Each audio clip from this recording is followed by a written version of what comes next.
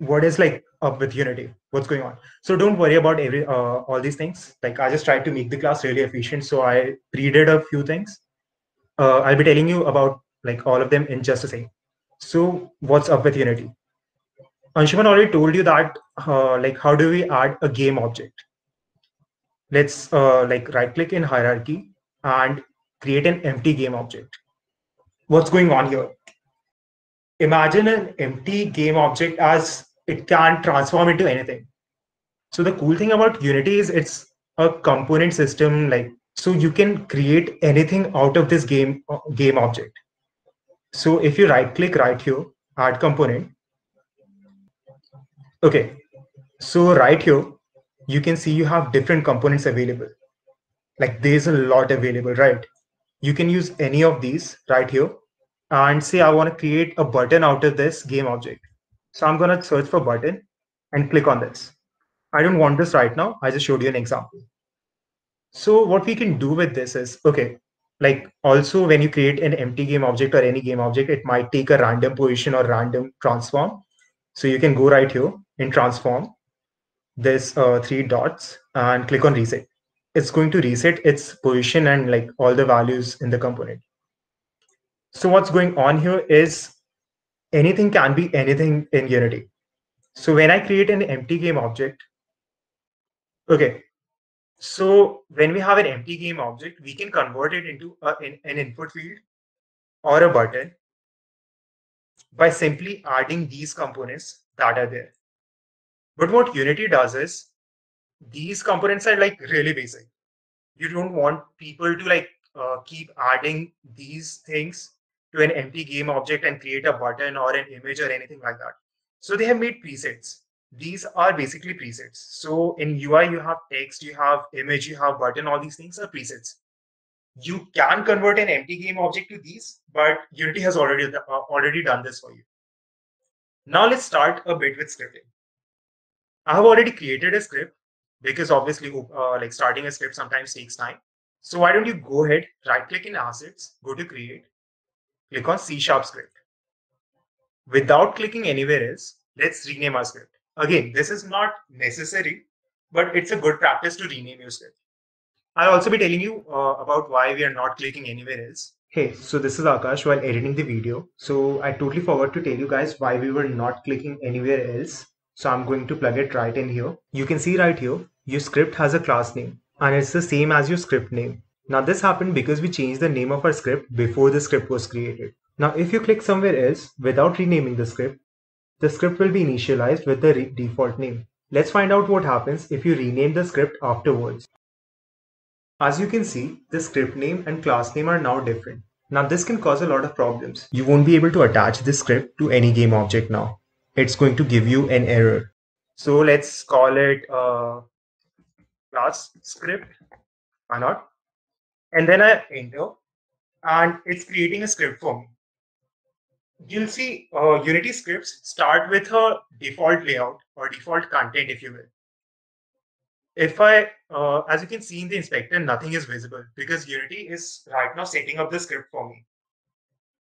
So it will load up the script for me in a second, but we obviously don't have time for that. It's like working on stuff. You can see it right here in the bottom right. So in the meantime, we'll go on with the script we already have ready. So what's going on here is, uh, if you guys have seen the variable video that we put up like earlier, then that is cool. You probably understand like somewhat of what is going on here. If you haven't, I'll just brush uh, brush up on this and you can watch it later. So what's going on here is we have declared an int integer.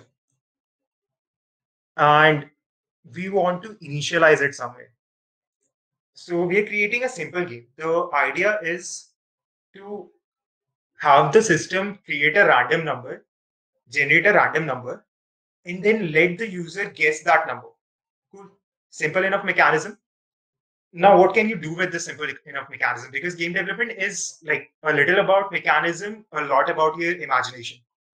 So what if, uh, like, let's start with this, how we created this, and then let's make it more interesting. So what private does is, private is an identifier. It tells your script that this integer or function, possibly even function, is supposed to be kept within the script. Okay, so nothing outside of this script can access this uh, variable. So I've used this in start, and you can see I've assigned it a random uh, random number. Don't worry about how we assign random number for right now. Just use this. Okay, we are using random dot range. In case it doesn't work out for you, like it's showing some kind of uh, error or something, write this down because uh, C Sharp and Unity both have their own random functions. Sometimes it creates a conflict. So you need to tell Unity uh, or your script which random number are you choosing to uh, apply here. So random equals to Unity engine dot random tells uh, your script that you want to use Unity engine's version of random uh, random function. Use random dot range, minimum range, and maximum range. What are these? These are basically parameters to this function. Again, uh, we'll be telling you about parameters a bit later. But for now, we have created two integer variables. One is min range and one is max range. Now, these are public. So what this does is when I go to my editor, I go to my game object. I have already attached the script to this game object, right? Now you can see the public variables, min range and max range are visible right in the editor. So if I wanted to edit these, I can do it right from the editor. I don't need to worry about uh, going back into the script and changing it. So how this helps is if you want to fine tune something, but you want to do it after like watching the script play in the game, like you're fine tuning how much uh, you want to rotate an object, but you don't want to do it directly through script. You want to just fine tune it a bit based on your observation in the scene, right? So you can use public variables. Obviously, that is oversimplification of what public is, but remember you can use it in the uh, scene. Also, public variables can be used by other scripts as well. So when your program works with multiple scripts, they can use public variables. So now we have defined min range and max range. So our script will generate two numbers. Sorry, our script will generate a number that is in between this range. And debug.log prints that in your console. Again, your console is a debugger tool. It's a developer tool. So anything printed on your console will not be visible to anyone playing the game, but it will be uh, visible to the developer. So you can log whatever you want uh, in the game for yourself. So if you want to check like how is something working or what's the like in between transition value for something, you can do that through debug.log. We have printed our sum number variable in debug.log. Now we create a function.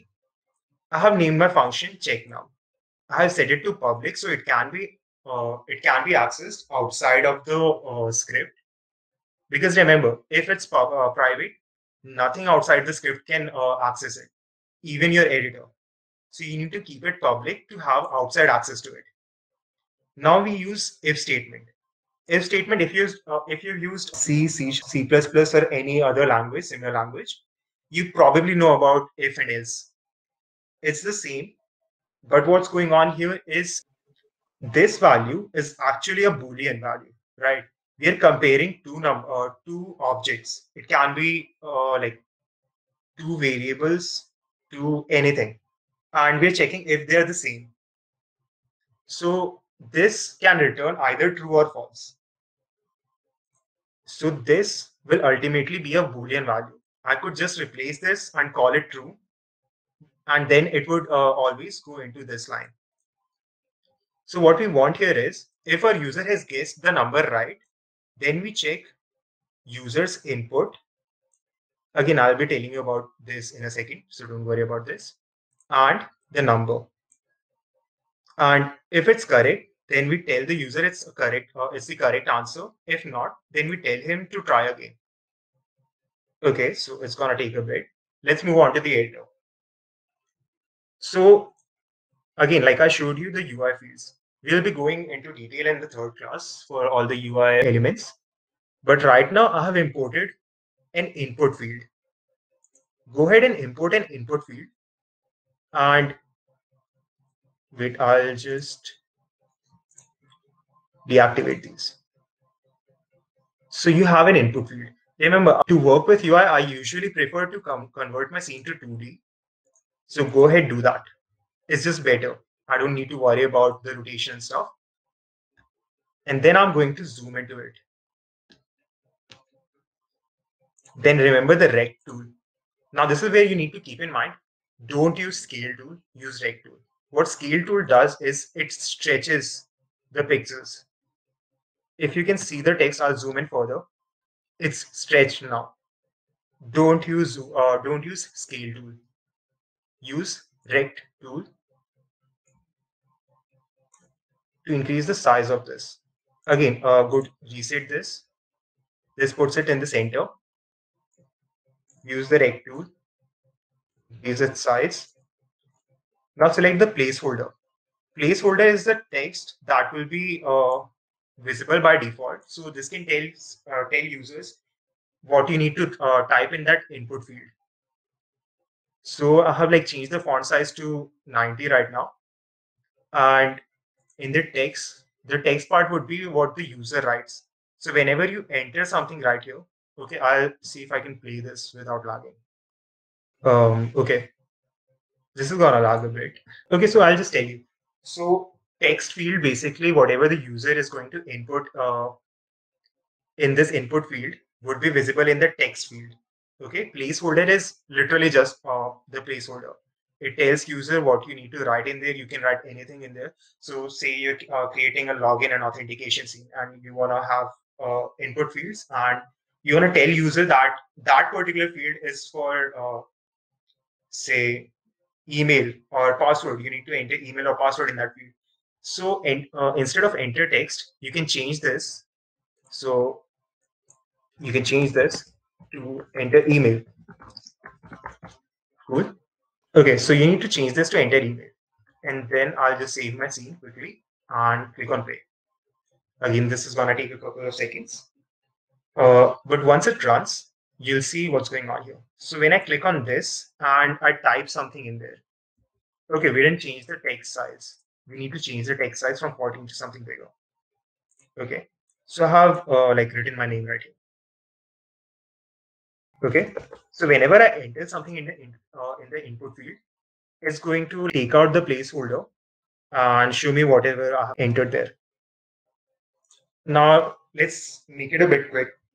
So now we know what input field field is doing. So we can get into scripting part. So I'll remove this one and reactivate these. So now that you have your input field in your script, you can define an input field.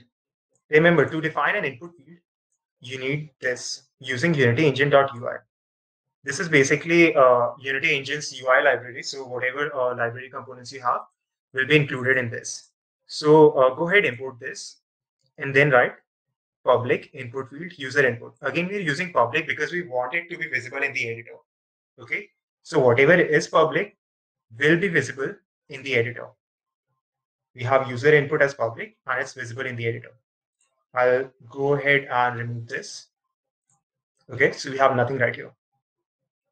Once you have declared that, you can come into the editor and drag and drop this. Guys, like if you have any doubt, you can unmute yourself. Like, does anyone have any doubt up till now? Can you re-explain this last uh, thing? Uh, which part? Like the one you just explained. Okay, input field. So remember, I uh, just told you, you you can right click in the hierarchy, go to UI, and import an input field. What input field does is it takes input from the user. So whoever is like using your app or game can enter text or whatever in there. This rectangle will be imported by input field. Then you can change the size of the input field using rect tool remember to use rect tool instead of scale tool. Scale ruins your UI. Use rect for UI always. So you can like change the size of this input field and in the input field, you can click this arrow right here and then change the font size for these placeholder and text. Once you have done that, your input field is ready in your script, import using Unity Engine.ui. This covers all the UI elements. This is the basic library for all, you, all UI elements. If I take this out, Uh, uh, why- it's yeah, sorry. so we already use using Unity Engine, right? So doesn't that just import all the libraries? Hey, so this is Akash again while editing the video. So I felt I didn't address this particular question that well in the class, so I'm going to attempt to do it again. So this question is about namespaces. This using Unity Engine.ui or using Unity Engine, these are namespaces. These are a broader topic of discussion that we'll probably be talking about in a later video or in a later class.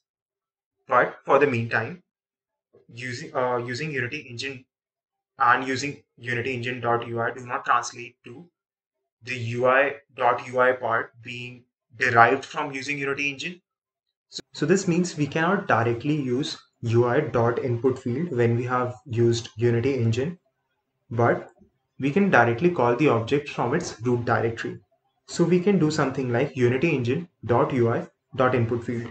Now, the problem with this is every time I write a new UI element, I need to again call it from its root directly. That becomes tedious and we don't want that. So we are just going to use Unity Engine.ui. Okay, so now we have uh, the input field setup. We have uh, declared a public input field, so we can drag and drop stuff in the editor for this. And then in the in our function, we have defined if user input dot text. So what's going on here is our input field user input has like different objects and different components, right? So like I told you, Unity Engine is uh, made out of components.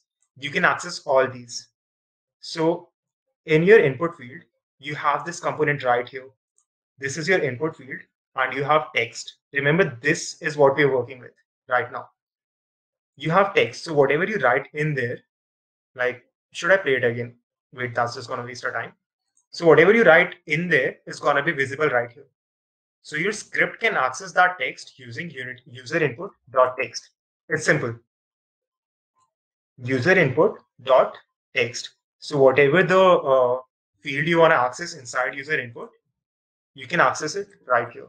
So you, uh, if you want to say, uh, if you want to make your user input non-interactable, you want people to not be able to interact with it. It uh, it should remain read only or something. You can do user input dot interactable that is a field. User input dot interactable is going to give me an error now. So user input dot interactable.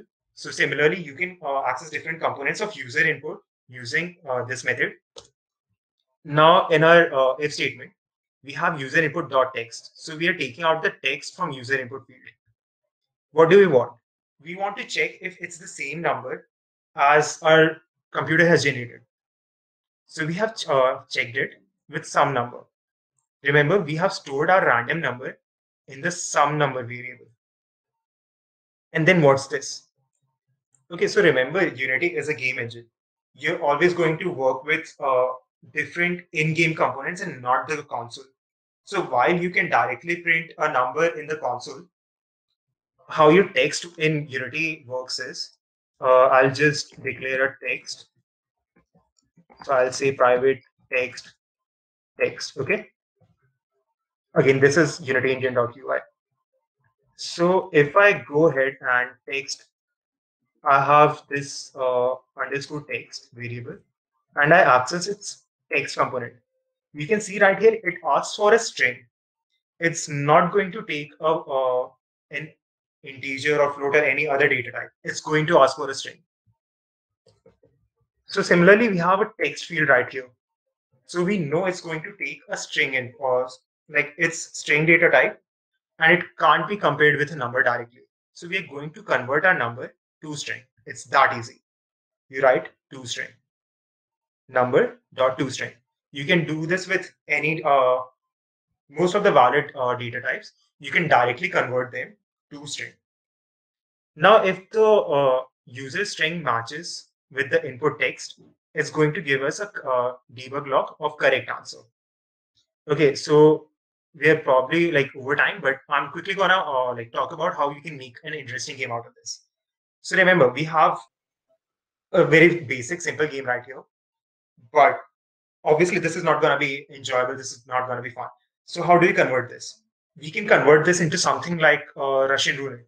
So whenever you and your friends are entering different numbers, and you can play Russian roulette with this. You can go if uh, the number matches the random number, the script goes boom. Or if it's not, you save.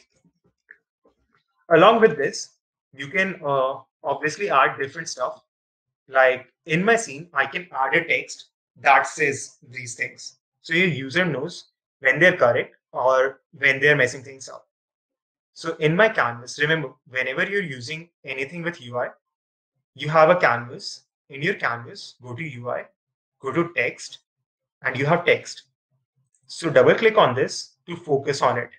You see it's like really small right here. Again, use the rect tool, increase the box size, increase the font size. It's gonna be more visible now. Let's drag it up. Let's do this. Okay, uh, also if you click right here and press Alt, you can increase the size symmetrically. Otherwise, it's just to increase from one side. Press Alt to increase it symmetrically. Now we have text right here. What are we going to do next? We have to define text for uh, in our script. So we have already made a private text. Let's just convert it to public. It's public now, so we can access it through our editor. Let's go to our editor, let it load. And in our game object, you'll see we have a new uh, text field. Let's drag and drop our text field. Now you can do one more thing. You can just select it from right here, but it's gonna be a bit confusing because all of them are named the same. So uh, I can change its name, click on text, go right here to the top and say uh, game text.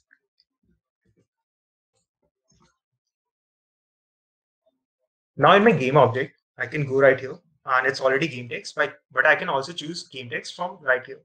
You can click on this little dot on the right side and like view different things that are in your scene or in your asset. Okay. And you can even search for it. So if I wanted game text, I can just search for it right here. Okay, so we have our game text. Now what are we going to do next? we have debug log, but now we want to access the text component of that text, right? It might be a bit confusing, but it is what it is right now. Text component of the text. So we are going to access underscore text dot text. And then we are going to say that we want to change this text to something particular. Like in this case, we want to say it goes boom. Okay. Otherwise, if you see, we want this text to say save. That's simple. We've used double quotes. Remember to use double quotes when you're uh, like entering a string. So use double quotes for string. This basically tells your compiler that this phrase right here is a string and it should be treated uh, treated as such. So we have converted uh, changed our text to boom and save. Now remember, when I play this uh, game, what's going to happen?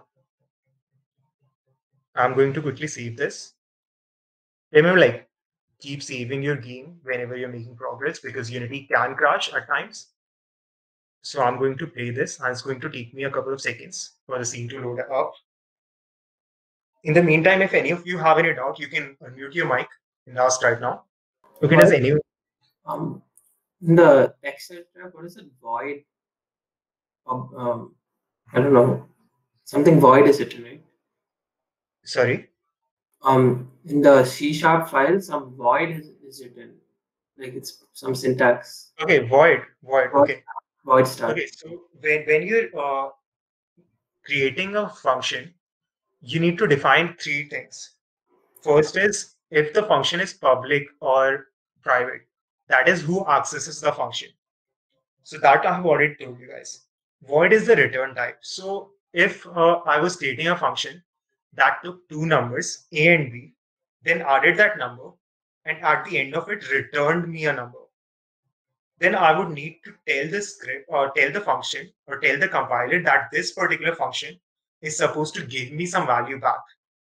These keywords, void or say int, if I had int right here, these would tell the uh, compiler that the return has a specific type. So what if I uh, what if I used okay I'll just give you guys a quick example of this.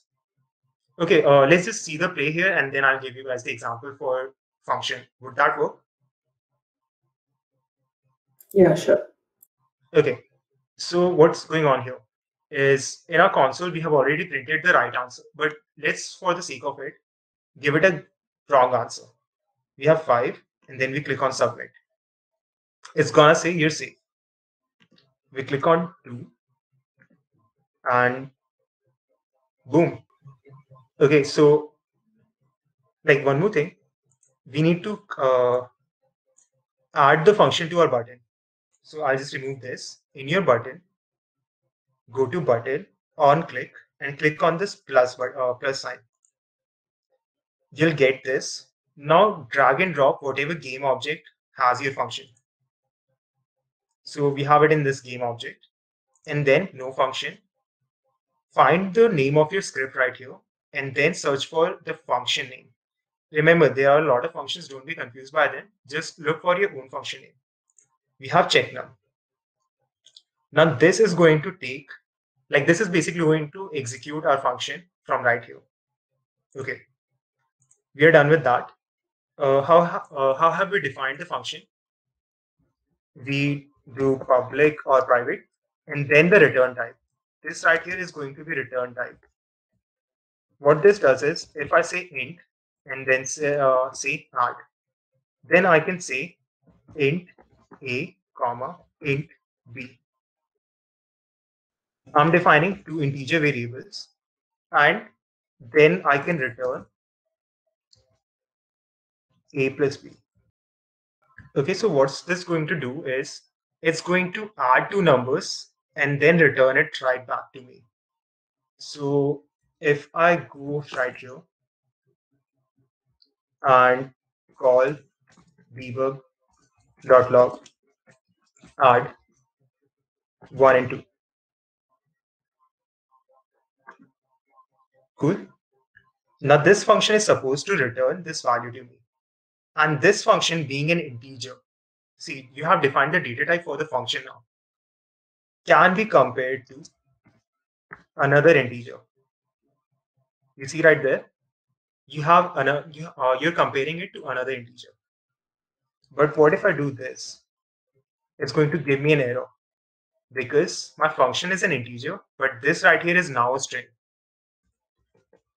So this basically defines the data type of your function the return type of your function to be more particular and void uh, void defines that your function is not returning anything. So right here we haven't returned anything from the function. We're just doing some work and that's it for the function Okay. So that's why we're using void. Remember, if you don't define anything, like right here, we haven't defined private or public, it's going to uh, consider it as private by default. It's going to give me like some sort of, uh, I'm not sure if you guys can see this, this uh, green underline.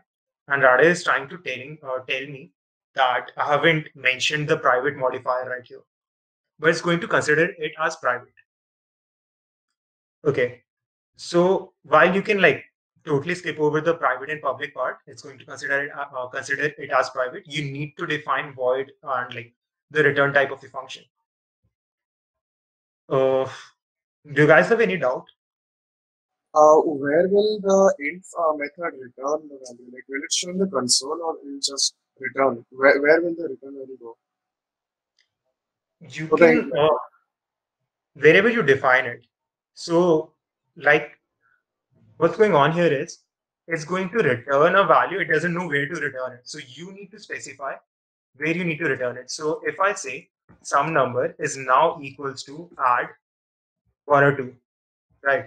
So what this function does is this function is completely replaced by the value a plus b. And then that value is stored in some variable or something. So imagine you directly replace this function right here with whatever it is returning. That's how you can visualize it. Uh, this so function, yeah, go ahead. do we have to debug log debug dot log some number like in the int uh, method, or will it just return in the console automatically? Uh, if you want to see it in console, you'll have to write debug.log. If you want to store it in a variable, you'll have to do it like what I did, some number equals to that function. If you want to do something else with it, again, you need to store it that way, or you need to print it that way. So right now, if I do this in debug log, it's going to show me in the console. Let's see if it's showing in the console. Let the console like compile things and let's print this. So I'm going to play this and see right here. Okay, this is one more uh, thing that you can do with the console. When you need to know like what's going on right here, right? You don't know what output is this. And if you have like 15 or hundreds of debug.log, how are you going, to know which debug.log is this? So this is going to give you the uh, output. Click on this, and then you can see the uh, position of like position in the script where this debug log was called. So that is 18th line in gamelogic.cs. Okay. 18th line in the gamelogic.cs called this. Add is going to give us the value right here.